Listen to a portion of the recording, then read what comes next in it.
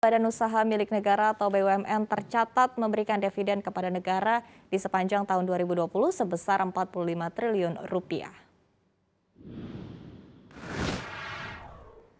Kepala Badan Kebijakan Fiskal Kementerian Keuangan Febrio Kacaribu menyebutkan penyumbang dividen terbesar berasal dari lima BUMN yang memiliki kontribusi sebesar 90,6 persen dari total dividen pemerintah pada tahun 2020.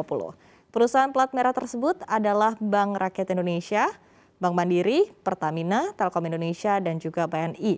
Meski demikian, secara total setoran dividen BUMN pada tahun 2020 turun jika dibandingkan tahun 2019 yang tercatat sebesar 51 triliun rupiah.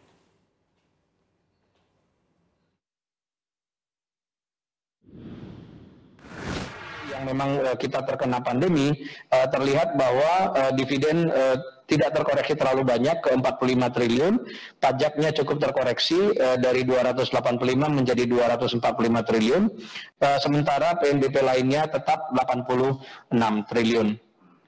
Kontribusi BUMN ini uh, terhadap APBN kelihatan memang terus uh, cukup tinggi, uh, pertumbuhan tertingginya di tahun 2018 uh, 32 persen.